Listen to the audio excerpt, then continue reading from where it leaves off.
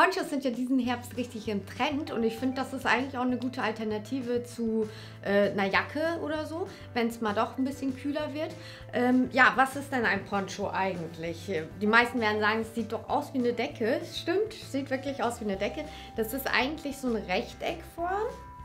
So, und dann ist hier in der Mitte halt so ein Schlitz reingearbeitet. Meiner hat so ein Stitching, ein buntes und ist kariert. Und jetzt können wir eigentlich mal anfangen mit den Varianten, wie man sie trägt. Also ich hatte es ja gerade eben schon so nur so umgeworfen. Kann man machen, hält auch warm. Ansonsten schnappt ihr euch dieses eine Ende und legt es hier über die andere Schulter. Zieht das andere ein bisschen länger und einfach über die andere Schulter geschmissen.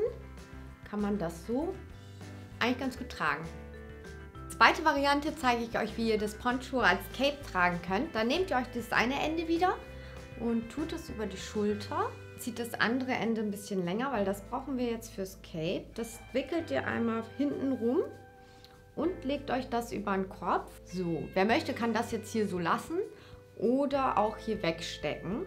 Auch die Variante finde ich eigentlich ganz cool, hat was Märchenhaftes. Ähm, Rotkäppchen war es, genau. Wenn mein Cape jetzt, glaube ich, rot wäre, würde ich aussehen wie Rotkäppchen.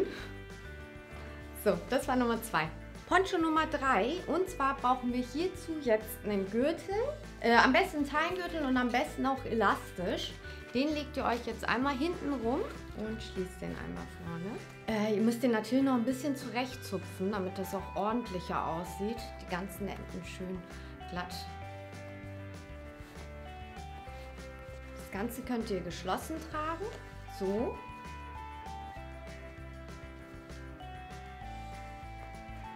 Oder auch natürlich offen. So, Variante Nummer 3.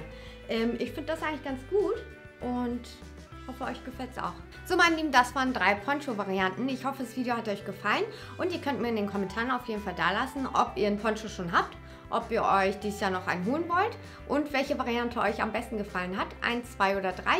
Ich mag das eigentlich ganz gerne, deswegen sage ich Nummer drei. Ansonsten, wenn ihr noch mehr Bilder oder Bock drauf habt, euch inspirieren zu lassen, dann habe ich noch Instagram, Pinterest und Facebook sogar. Sogar, jeder hat Facebook. Auf jeden Fall, ich freue mich, wenn ihr das nächste Mal auch wieder da seid und sagt Tschüss, bis zum nächsten Mal. Ach ja, Twitter habe ich auch und abonnieren könnt ihr da. Danke, ciao.